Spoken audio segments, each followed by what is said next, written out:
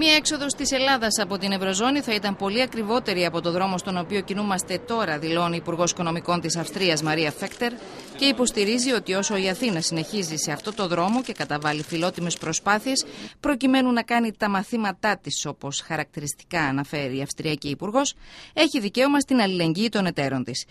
Σε συνέντευξή της στην εφημερίδα Rheinische Post, η κυρία Φέκτερ επισημαίνει ότι στην Ελλάδα παρατηρούνται ήδη τα πρώτα δείγματα ενίσχυσης της ανταγωνιστικότητας και τονίζει ότι προκειμένου να εκταμιευθούν οι επόμενες δόσεις πρέπει να τηρηθούν οι κανόνες. Είτε πρόκειται για υλοποίηση μεταρρυθμίσεων, είτε για προώθηση των αποκρατικοποιήσεων. Η Ελλάδα εργάζεται σκληρά για τη βελτίωση της κατάστασης, όπως αποδεικνύεται με το φιλόδοξο πακέτο εξυγίανσης για το